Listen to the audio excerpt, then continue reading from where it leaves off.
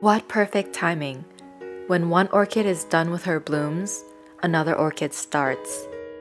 I'm very happy to see this little mini orchid deciding to form her baby flower spike once again. I'll be moving her indoors so I can watch her and enjoy the blooms from inside.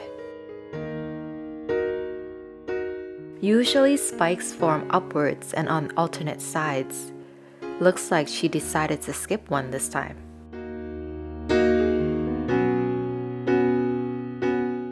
I am loving all these healthy roots. She just needs some watering.